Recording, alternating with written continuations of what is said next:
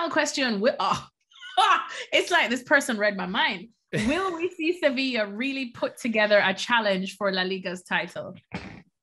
Not for me. Not for me. I don't believe that. I think they had chances last uh, season and two years ago, but I don't know what happened to Lopetegui. That at the end of the seasons, you know, they're the Sevilla team just just like they dive, and I don't really trust that.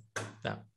I don't really trust them either. I think this was the perfect season for them to do it. And I remember as well even telling that Loki asking to Ivan Rakitic, and he was aware of it. He was like, This is an unprecedented season. We're seeing a Madrid who we all have admitted has not been the Galactico Madrid of old. Yes, they always find their way, fair enough. But they weren't looking like that at the start of the season. We saw Barcelona, who hit a rock bottom that we haven't yeah. seen before. Um, Atletico Madrid had seemingly an identity crisis too.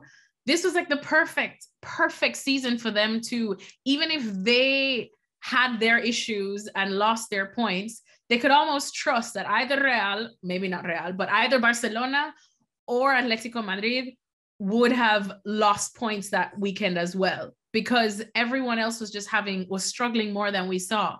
And the fact that they still were not able to get into the top 2 I was I was I'm genuinely shocked and I think that that's Oh, Sevilla, Sevilla. It's a pity, but they had two chances and they throw them away.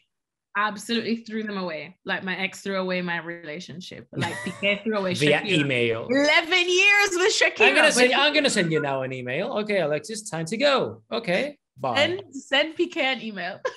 send no. Piqué an email, and everyone can send us more comments. I'm sure um, I'm blocked. hopefully, we get to answering them uh, in the next one. Thank you very much for watching ESPN FC on YouTube. For more highlights, analysis, and exclusive content, be sure to subscribe.